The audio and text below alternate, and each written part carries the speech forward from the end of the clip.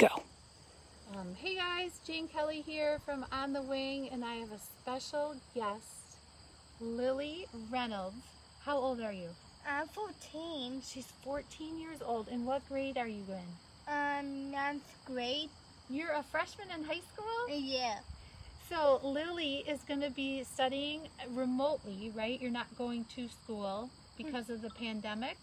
Is that true? Yeah? And how does that make you feel? Oh, um, proud. Proud? And you you like to study on your own? Are you good at studying? Um, I like studying my own, yes. Oh, good. And what's your favorite subject? Um, painting. Painting? What do you like to paint? Um, I like paint the, um, close to me and mom's, uh, head. Well, would you maybe paint one of my birds for me?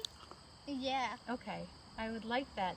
So Lilly helped me today, and what we're gonna do is we're gonna talk science once a week with Lilly um, because she is remotely learning. And today, we what did we discover? What are these? Oh, um, feathers. And what did these feathers come from?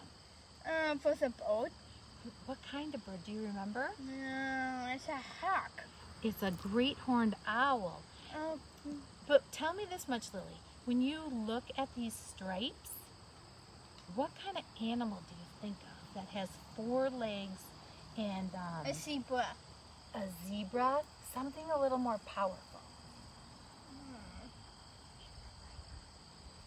Maybe cheetah or a tiger. A tiger. a tiger. yeah, so if you look at these stripes, Yeah, it's a tiger. the great horned owl is called the tiger of the sky here in North America. Oh, okay. Can you see that? Yeah.